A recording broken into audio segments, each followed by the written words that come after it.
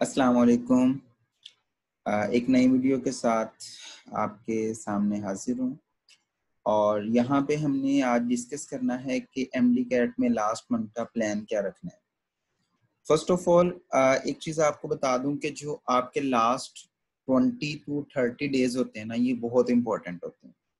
आप यूँ कह लें कि बहुत सारे स्टूडेंट्स ऐसे हैं जो इन ट्वेंटी से थर्टी डेज़ में सीरियस होके बहुत अच्छे मार्क्स ले जाते हैं।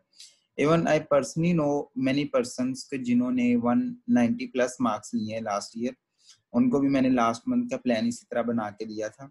एंड uh, मैंने खुद मतलब जब एम डी कैट की प्रेपरेशन की थी लास्ट मंथ बहुत इंपॉर्टेंट होता है। सो so, इसके अंदर आपने मैक्सिमम कोशिश ये करनी है कि आपने मैक्सिमम चीज़ों को तैयार करना है। उनमें से जो जो आपकी प्रॉब्लम्स हैं वो क्लियर करनी है। ठीक है? So last month almost one month आपके पास है और इस मंथ में आपने क्या करना है? कैसे चीज़ों को लेके चलना है? ये आज हम डिस्कस करेंगे ठीक है?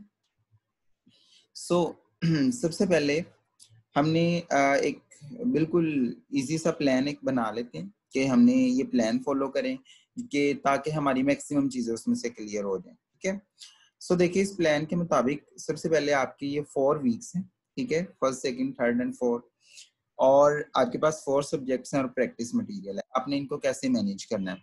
पहली बात मैं आपको बता दूँ, यहाँ पे ये मैटर नहीं करेगा कि आपने डेली कितने घंटे पढ़ना है। मैं आपको बड़ी क्लियर बात बता रहा हूँ। आप ये कभी भी ना सोचे, आपने डेली बीस घंटे पढ़ना है, पंद्रह घंटे पढ़ना है, अठारह घंटे पढ़ना है, ये ना सोचे। आप डेली के टॉपिक सिलेक्ट करें कि आज मैंने ये वाले टॉपिक्स करने हैं। वो चौबीस घंटे में हो, वो दस घंटे में हो वो 16 घंटे में आप वो करें। अगर फिर टाइम बचे, फिर आप कोई नया टॉपिक पकड़ लें। वो तो ज़्यादा अच्छी बात है, आपके पास टाइम बच गया और अगर टाइम बच गया, आप प्रैक्टिस की तरफ़ चले जाए। प्रैक्टिस उतनी ज़्यादा कर लें। सो ऑलवेज सिलेक्ट के आज मैंने ये पढ़ना है। That's it don't go for के मैंने आज 20 घंटे पढ़ना है, आज मैंने 30 घंटे पढ़ना है।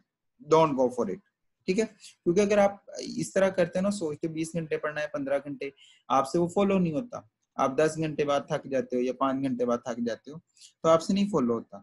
फिर आप टेंशन लेते हो स्ट्रेस लेते हो। इंस्टेड अगर आप टॉपिक सोचे ना और अगर आपको टॉपिक कवर हो जाए तो आपको एक अजीब सी एक अजीब सा कॉन्फिडेंस आपको मिलता है, जिससे आप नेक्स्ट चीज़ अच्छे तरीके से करते हैं। So go for your plan कि आपने डेली का कैसे पढ़ना है, कितना पढ़ना है, ठीक है? सो सबसे पहले अभी जो आपके पास वीक चल रहा होप्स आप सबके सिलेबस कंप्लीट हो गया होगा प्रैक्टिस वगैरह भी आपने कर ली होगी। इसमें ना आप सबसे पहले चले जाएँ डिफ़िकल्ट टॉपिक्स की तरफ़। जितने भी बायो के डिफ़िकल्ट टॉपिक्स आपको लगते हैं ना, बहुत सारी चीज़ें जो आपको नहीं आती होंगी कॉन्सेप्ट नहीं क्लियर होंगे। जस्ट लाइक like के बहुत सारे बच्चे फंसे होते हैं ट्रांसक्रिप्शन ट्रांसलेशन वाले टॉपिक्स में फंसे होते हैं। बहुत सारे बच्चे वो लास्ट टॉपिक इकोलॉजी में फंसे होते हैं। और कुछ बच्चे जो हैं वो बायो में फंसे होते हैं स्केलेटल मसल में फंसे होते हैं। ये सारे डिफरेंट कोई डिफ़िकल्ट टॉपिक्स होते हैं कहीं से बच्चों ने नहीं अच्छे तरीके से पढ़ा था। सो so, जो आपके पहले फाइव टू सिक्स डेज़ है ना इनमें वो सारे आप बायो के टॉपिक्स करें। डेली के आप मिनिमम इनको दो दो तीन तीन घंटे भी दें। तो आप इजीली वो सारे टॉपिक्स डिफ़िकल्ट कवर कर सकते हैं। यानी सबसे पहले तो आपका काम अभी ये है कि आपने वो चीज़ें करनी जो आपको नहीं आती। जो आती हैं एक दफ़ा उसको साइड पे रख दें। वो आती हैं उनकी रिवीजन हो जाएगी। ठीक है? डोंट को गो फॉर इट कि आपको सेल वाला चैप्टर आता है सेल वाला पढ़ते जाए बैक्टीरिया वाला आता है, वही पढ़ते जाए पढ़ते जाए। डोंट गो फॉर इट ठीक है? और इसके लिए जो थोड़े से डिफ़िकल्ट टॉपिक है, उनके लिए हमने एक लेक्चर सीरीज़ भी शुरू किया, जिसमें अभी क्रैप साइकिल एटीपी के मॉलिक्यूल्स की जो है एनर्जी कितनी होती है, वो हमने काफ़ी सारी वीडियोस अपलोड कर चुके हैं ऑलरेडी ठीक है? सो so, आपने सबसे पहले तो सारे डिफ़िकल्ट टॉपिक्स यहाँ पे करने हैं। उसके बाद आपने फिजिक्स में सारे फॉर्मूलाज और न्यूमेरिकल जितने भी न्यूमेरिकल है ना आपको वहीं पे ज़्यादा मसला होता है क्योंकि बाकी बुक की रीडिंग तो ऑलमोस्ट हो जाती है। तो आप इस तरह करें सबसे पहले सेकंड ईयर की तरफ़ जाएँ जितने भी न्यूमेरिकल्स आपके हैं ना एक्सरसाइज के हैं एग्जाम्पल्स हैं जितने भी फॉर्मूलाज हैं आपके उनको सेपरेट करें। कोई आपके पास नोट्स हैं कोई आपने खुद बनाए हैं उनको अलग कर लें। तीन चार पेजेस पे आपके फॉर्मूलाज ग्राफ सारी चीज़ें आ जाएँगी उनको अलग कर लें। केमिस्ट्री में आप ऑर्गेनिक पकड़ें ऑर्गेनिक को अच्छे तरीके से करें पहले हफ़्ते में अच्छा टाइम दें इसको बेहतरीन तैयार करें, क्योंकि तकरीबन आपका जो केमिस्ट्री का थर्टी परसेंट पेपर ऑर्गेनिक से आना ठीक है? ऑलमोस्ट थर्टी परसेंट पेपर सिर्फ़ ऑर्गेनिक से आना तो ऑर्गेनिक के पीछे मतलब फौरी तौर पे भी चल पड़े। और इंग्लिश के ग्रामर का पोर्शन करते जाए इसकी प्रैक्टिस भी साथ साथ करते जाए और यहाँ पे आप साथ पास पेपर्स करें। अब आपको लग रहा है कि पाँच चीज़ें किस तरह से करनी देखिए आपने सारा कुछ पहले ऑलमोस्ट किया हुआ है। अगर आप मिनिमम में आपको टाइम कहता हूँ कि अगर आप मिनिमम भी दो घंटे इसको देते हैं, इससे ज़्यादा भी दे सकते हैं आप डिफ़िकल्ट टॉपिक्स आप फोर्टीन आवर्स बनते हैं आपके एक हफ़्ते में। फोर्टीन आवर्स में आपके सारे डिफ़िकल्ट टॉपिक्स हो सकते हैं इजीली ठीक है? फिजिक्स को आप डेली टू पॉइंट फाइव या थ्री आवर्स देते हैं तो ये भी आपका इजीली हो जाएगा। टू आवर्स आप केमिस्ट्री को देते हैं तो अगर आप एक चैप्टर भी डेली का करें केमिस्ट्री भी आपकी ऑर्गेनिक हो जाएगी। इंग्लिश को आप थर्टी मिनट्स भी दे दें आपकी, ये भी हो जाएगी, और एक घंटा आप इसको दे दें, आपके आठ दस घंटे ये तो बनते हैं। बहुत सारा टाइम आप बचा भी सकते हैं, ठीक है? तो आप बाकी चीज़ें भी कवर कर सकते हैं जो साथ चल रहा है।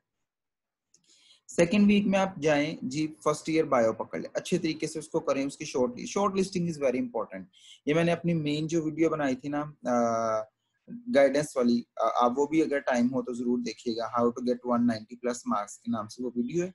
बहुत उसमें चीज़ें मैंने अच्छे से एक्सप्लेन की कि शॉर्ट लिस्टिंग कैसे करनी है क्या क्या चीज़ें उसमें रखनी है, वो ज़रूर देखिएगा।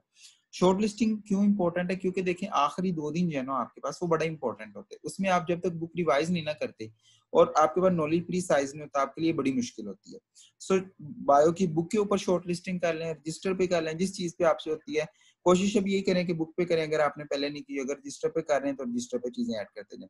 बट एटलीस्ट एक काम करें कि जिस चैप्टर को आप पढ़ रहे हैं अगर उसकी प्रैक्टिस की है उसमें जो डिफ़िकल्ट एमसीक्यूज आपको लग रही है, जो एमसीक्यूज आपके गलत हो रहे हैं प्रैक्टिस में, उन एमसीक्यूज को आप अलग से लिखना शुरू कर दें चैप्टर वाइज लिखना शुरू कर दिया जैसे भी ताकि एट द एंड आपके पास एक एमसीक्यूज का बैंक अपना तैयार हो जाए, जिसमें आपके पास तीन तीन चार चार सौ एमसीक्यूज डिफ़िकल्ट वाले हों, जो आपको ड्यूरिंग द सेशन नहीं आते, ठीक है? फिजिक्स का भी इसी तरह फ़र्स्ट ईयर का करें, और इसमें सारी शॉर्ट लिस्टिंग आपकी फॉर्मूलाज की ऑलरेडी हो गई है जो इम्पोर्टेंट लाइंस हैं बुक की, क्योंकि आपने दोबारा फिजिक्स की बुक कोशिश करें, नहीं पढ़नी लास्ट टू डेज़ में। लास्ट टू डेज़ में आपने सिर्फ़ प्रैक्टिस करनी है, जो नोमेरिकल्स आपने लग की, सारे फॉर्मूलाज याद करने हैं, और जो इम्पोर्टेंट लाइंस लिखी। हाँ अगर आपने नहीं की, और बुक के ऊपर शॉर्ट लिस्टिंग किया बुक भी पढ़े, ठीक है? और इनऑर्गेनिक इसके साथ करिए, थोड़े से मैंने कम इसलिए दिया कि ये दो बड़े काम है आपके पास बायोफिजिक्स के। और साथ आप वो कैब शुरू कर दें, और ये आप इसके पास पेपर और एमसीक्यूज बैंक साथ साथ बनाते जाए। मैं अभी कह रहा हूँ जो एमसीक्यूज आपको मुश्किल लगे, पास पेपर में से जो एमसीक्यूज आपको मुश्किल लगे वीडियोस में से या कहीं से कहीं से भी आप प्रैक्टिस कर रहे हैं तो उनको आप अलग से लिखते जाएँ। या जो आपकी रीजनिंग के मुताबिक ना हो, जो सोच के आपने आंसर लगाया था।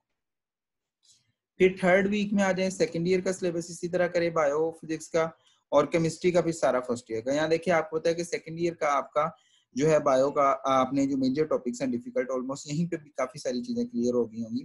फिजिक्स का भी इसी तरह आपका क्लियर हो गया होगा तो सो केमिस्ट्री जो मेजर है पोर्शन वो यहाँ पे आपका कवर हो जाएगा। और यहाँ पे ये दोनों चीज़ें ग्रामर और वो कैप रिवाइज करें। चैप्टर वाइज टेस्ट जितने टेस्ट यहाँ पे प्रैक्टिस जितनी मैक्सिमम आप इस वीक में कर सकते ना, करें। करते जाएँ प्रैक्टिस करते जाएँ करते जाएँ प्रैक्टिस जितनी मैक्सिमम आपसे हो सकती है इस वीक में। ये प्रैक्टिस के लिए वीक बहुत इंपॉर्टेंट होगा, ठीक है? वीडियो सुने आप, जो आप करना चाहते हैं ना, आप करें साथ ठीक है? उसके बाद लास्ट वीक में जो है आप शॉर्ट लिस्टिंग को तैयारी शुरू कर दें, यानी शॉर्ट लिस्टिंग जो आपने बनाई है, उसको पढ़ें। आप पहले शॉर्ट लिस्टिंग पढ़ें, फिर बुक से थोड़ा मतलब रीड करें चैप्टर क्योंकि आपने किया हुआ रीड जो चीज़ें बुक में नहीं आपको लग रही हैं, जो आपने एमसीक्यूज नहीं पढ़े हैं, जो भी चीज़ें, वो उसमें ऐड करते जाए। यानी इसी शॉर्ट लिस्टिंग में वो चीज़ें ऐड करते रहें ठीक है? इसी तरह फिजिक्स की केमिस्ट्री की सबकी शॉर्ट लिस्टिंग में चीज़ें ऐड करते हैं इंग्लिश का आप ये करें, जो वो कैब के वर्ड्स आपको बहुत मुश्किल लग रहे हैं उनको आप सेपरेट कर लें, आपके पचास साठ वर्ड्स निकल आएँगे ऐसे जो बहुत मुश्किल आपको लग रहे हैं। और जो इंग्लिश ग्रामर का आपको चीज़ें मुश्किल लगी, उनको अलग कर लें और इसकी प्रैक्टिस अच्छे से इंग्लिश की लास्ट वीक में करें। लास्ट वीक से मुराद है जब आपके पेपर होने में चार पाँच दिन रहते तब तक ये काम आपका हो गया, ठीक है? उसके बाद आपने क्या करना है जी? लास्ट टू डेज़ या थ्री डेज़ का या फोर डेज़ का आपने प्लान बनाना। ये बहुत इंपॉर्टेंट यहाँ पे आपने डिसाइड करना है कि आपके कितने मार्क्स आने सबसे पहले तो आपने शॉर्ट लिस्टिंग की होगी तो आपके लिए बहुत इजी होगा। उस शॉर्ट लिस्टिंग को आपने क्रैम करना क्रैमिंग मतलब आपको कॉन्सेप्ट अब क्लियर अब आपने उसको रटना है। क्रैम करना शॉर्ट लिस्टिंग को अच्छे तरीके से। बुक से मटेरियल फिर शॉर्ट लिस्टिंग में ऐड करना लास्ट नाइट की तैयारी के लिए। अगेन ठीक है? बुक से आप दोबारा से जो आपको चैप्टर अभी भी मुश्किल लग रहे हैं, जहाँ पे एमसीक्यूज गलत हो रहे हैं, वो चैप्टर पढ़े, उनसे चीज़ें ऐड करें शॉर्ट लिस्टिंग में। बिकॉज़ मैं लास्ट टाइम ना अपनी, मुझे याद है केमिस्ट्री और बायो की सिर्फ़ शॉर्ट लिस्टिंग पढ़ के गया था और अल्हम्दुलिल्लाह मेरे बहुत अच्छे मार्क्स आ गए थे। और बहुत सारे बच्चे इसी तरह करते हैं 195 प्लस मार्क्स भी ऐसे बच्चों के आए हैं, वो सिर्फ़ शॉर्ट लिस्टिंग क्योंकि शॉर्ट लिस्टिंग आपने खुद बनाई होती है। और एक बात, किसी की बनाई हुई शॉर्ट लिस्टिंग आपने नहीं पढ़नी, उससे आप आइडिया ले सकते हैं, उससे आप नॉलेज ऐड कर सकते हैं। पढ़ना है अगर आपने तो सिर्फ़ अपनी शॉर्ट लिस्टिंग को पढ़ना, वरना आप कंफ्यूज हो जाओगे कि मतलब किसी की शॉर्ट लिस्टिंग अगर पढ़ रहे होगे, उससे आप आइडिया ले सकते हैं, चीज़ें अपने नोट्स में ऐड कर सकते हैं। उसके बाद एमसीक्यूज जो आपने बैंक बनाया हो ना खुद का, वो लाजमी रीड करना इन दो दिनों में। दो तीन घंटे निकाल के आप इसको अच्छे तरीके से करें।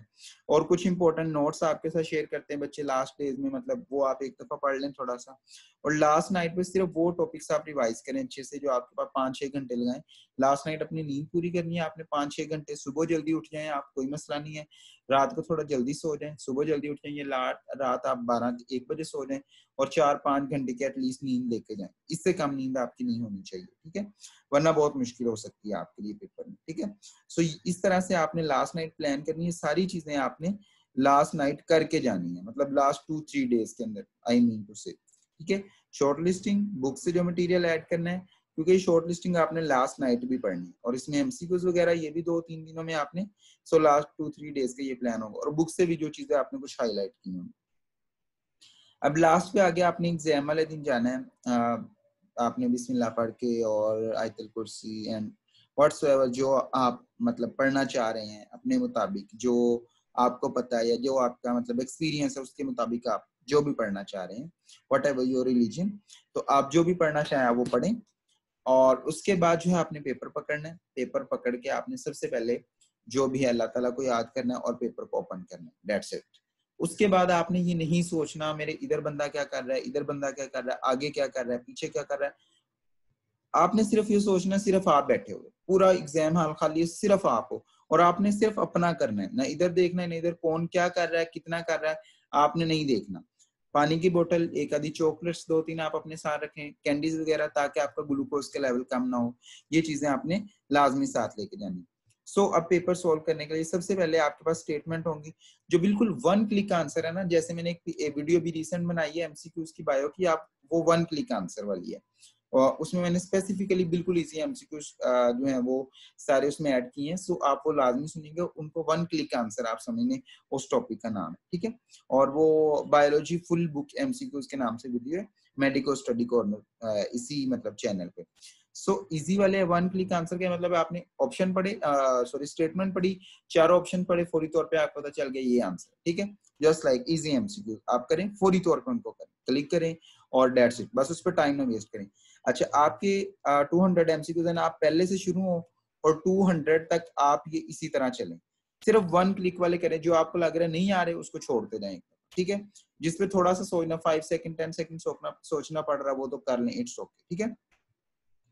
उसके बाद आप आए सेकंड राउंड में। इसमें फॉर एग्जांपल आप ज़्यादा नहीं तो मतलब कम से कम 60 70 एमसीक्यू आप इंशाल्लाह सॉल्व कर लेंगे। हम मिनिमम लगाते हैं जी, चलें, आपने जी मिनिमम 60 एमसीक्यू सॉल्व कर लिए वन क्लिक आंसर में। फिर आप इजी विद फार्मूला अच्छा इन पे आप मैक्सिमम ना 20 सेकंड से ज़्यादा इस पे टाइम ही आपने लगाना है, ठीक है? बस 20 सेकंड आपने जिन पे लग रहे हैं, बस वो लगाएँ, बाकी आप टाइम छोड़ दें, ठीक है? अगर 16 और 20 सेकंड के लिहाज से चले, आप देखे, थोड़ा सा आपको रीड करने में टाइम लगा सो एवरेज आपके पास 25 सेकंड आ गई, सारे एमसीक्यूज मिला ठीक है?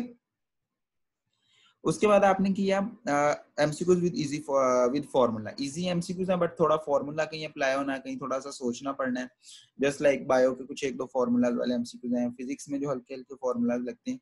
सो so ये फॉर एग्जांपल आपने सेकंड राउंड में करना इन पे मैक्सिमम आपने जो इजी फॉर्मूला वाला थर्टी सेकंड आपने ठीक है सिक्सटी तो ये निकल गए, बाकी आपके पास बचे वन फोर्टी वन फोर्टी में से आपने फॉर एग्ज़ाम्पल मजीद आपके पास फोर्टी सॉल्व हो गए। ठीक है?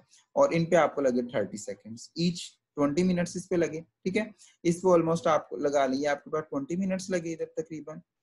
ये आपके पास लगा लें कि चलिए ट्वेंटी फाइव लगा लें, बाकी अगर स्टेटमेंट भी पढ़े, ये भी आप लगा लें कि ये भी आपके पास ट्वेंटी मिनट्स लगे, क्योंकि ये तो बहुत जल्दी करना है ना, ठीक है?